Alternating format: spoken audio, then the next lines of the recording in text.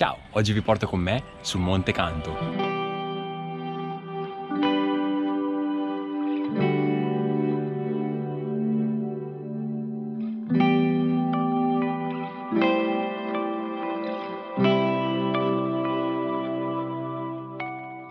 sono a Pontida, potete lasciare la macchina in uno dei parcheggi presenti nel centro del paese oppure proseguire verso il cimitero e poi lasciarla in questo grosso spiazzo.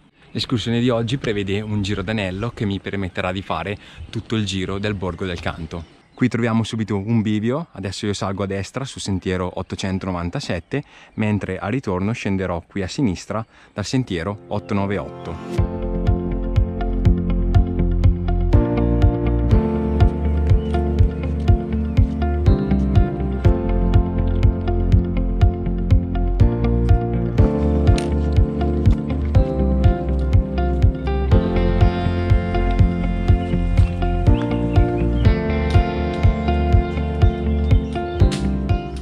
Questo bivio io tengo la sinistra, andando qui a destra invece si può raggiungere il rifugio del gruppo escursionisti di Pontida.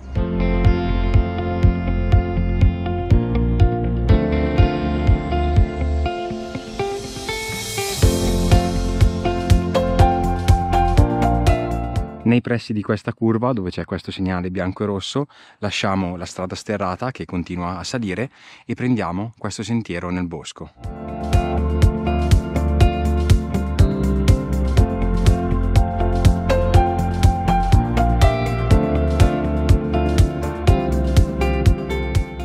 Facile e larga strada che abbiamo percorso all'inizio adesso lascia il posto a un sentiero più stretto e anche molto ripido. Il terreno è anche molto umido, quindi fate attenzione a non scivolare.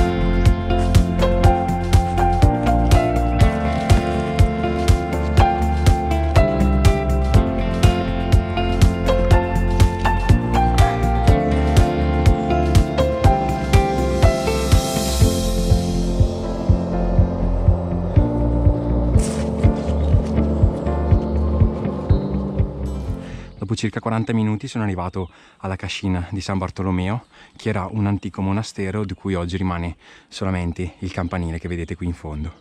Adesso continuiamo a salire qui a destra.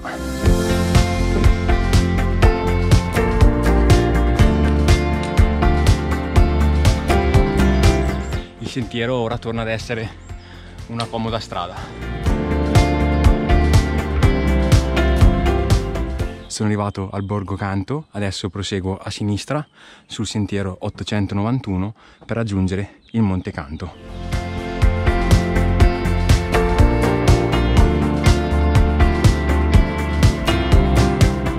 A questo bivio adesso continuiamo a destra verso il Monte Canto. Borgo del Canto nel corso dei secoli ha sempre avuto un'importanza strategica grazie alla sua posizione. Infatti il Monte Canto è isolato a sud dalla Brianza e da tutta la città, mentre a nord c'è la Valle di San Martino che lo divide dal Monte Linzone e da tutto il resto delle Robie per via della posizione abbastanza isolata questo monte è sempre stato considerato un luogo sacro. Come vedremo più tardi infatti sono numerose le chiese e i monasteri presenti in questa zona e persino il Papa Giovanni XXIII amava camminare in queste zone. Dopo il lungo tratto pianeggiante ho trovato questo cartello del CAI ed ora proseguo a destra e in 15 minuti arriverò alla cima del Monte Canto.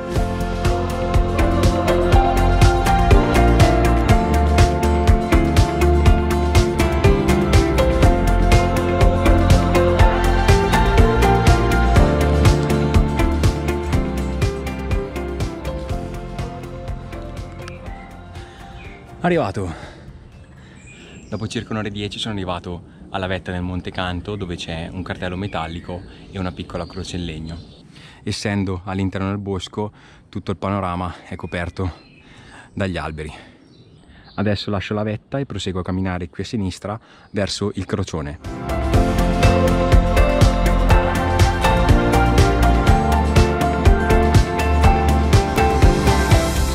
Arrivati a questo incrocio seguo le indicazioni per il crocione che è dato a 5 minuti qui a sinistra.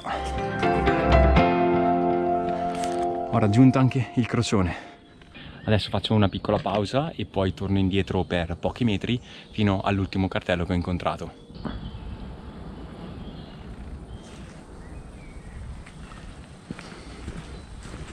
Sono tornato indietro dalla vetta del crocione e sono ritornato a questo incrocio. Ora prendo il sentiero breve che mi riporterà fino al borgo del canto.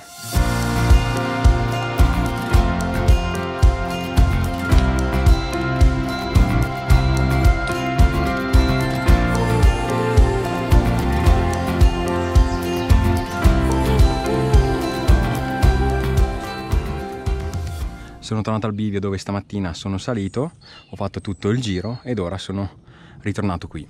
Adesso riprendo il sentiero che mi riporterà fino al borgo. Sono tornato al primo bivio del borgo e adesso continuo dritto verso la chiesa di Santa Barbara. Qui troviamo tutti i ruderi dell'antico borgo che sono stati recintati per questioni di sicurezza perché gli edifici stanno crollando.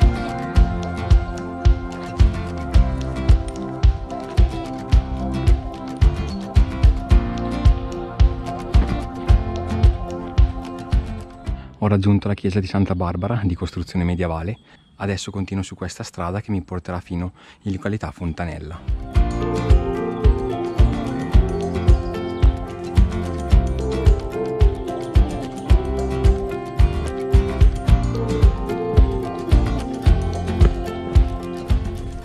A questo bivio continuiamo a sinistra e tra mezz'ora arriveremo alla località Fontanella.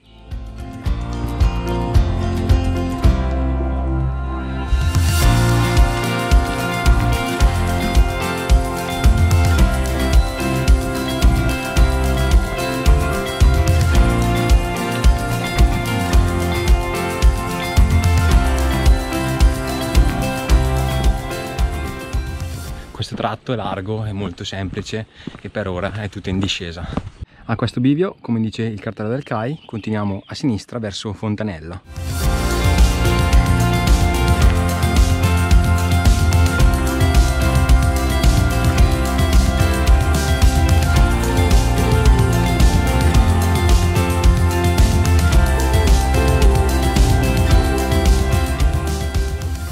Finalmente abbiamo una vista panoramica e guardate che spettacolo. Qui ci sono tutti i vigneti mentre qua c'è la frazione di Fontanella che adesso raggiungerò.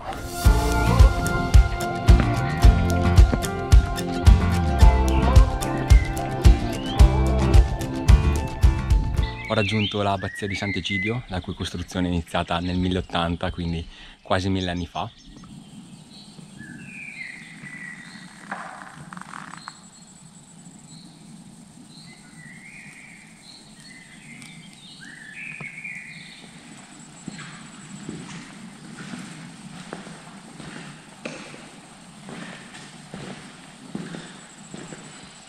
ho fatto una veloce visita all'abbazia che come dice il cartello è sempre aperta dall'alba al tramonto.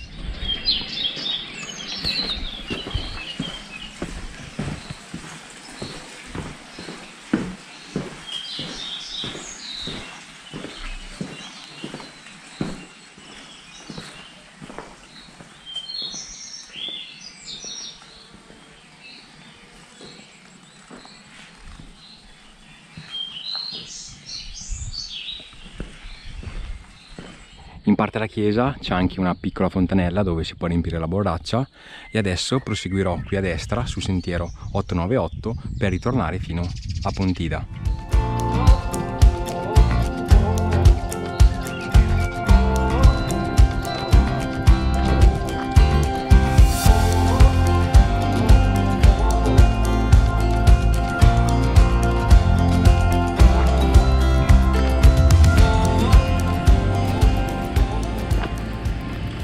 Come dice il cartello adesso andiamo a sinistra sul sentiero 898 che in 45 minuti ci riporterà a Pontida.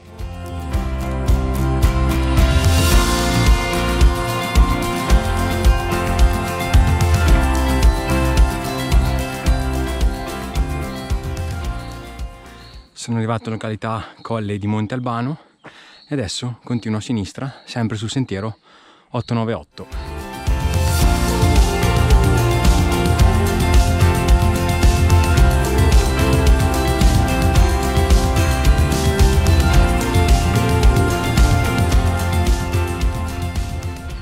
A questo bivio salgo qui a sinistra per vedere la pietra di Sant'Alberto.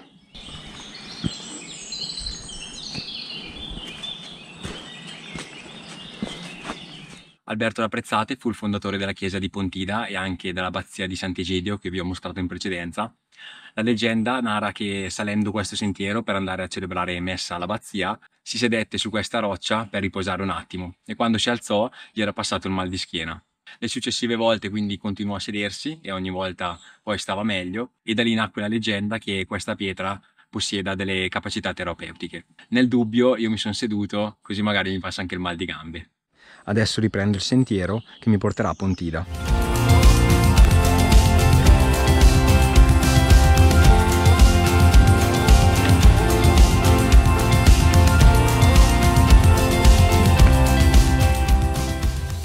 Veramente incredibile come pur essendo pochi chilometri dalla città qui regna il silenzio che è interrotto solo dal canto degli uccelli, non so se li sentite.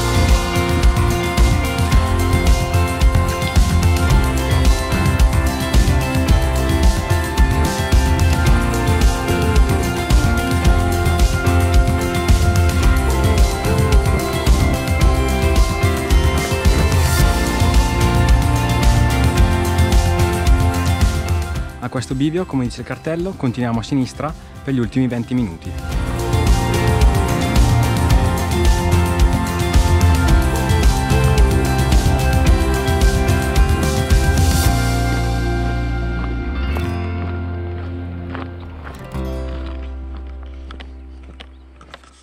Sono tornato al punto in cui sono partito stamattina, sono salito sulla destra e poi sono sceso a sinistra completando questo anello di circa 11 km e poco più di 500 metri di dislivello. L'escursione come avete visto non prevede molti punti panoramici ma è ideale per chi ama camminare immersi nella vegetazione e nella natura selvaggia. Vi lascio tutte le informazioni tecniche nell'articolo del mio blog e come sempre se vi va ci vediamo alla prossima avventura.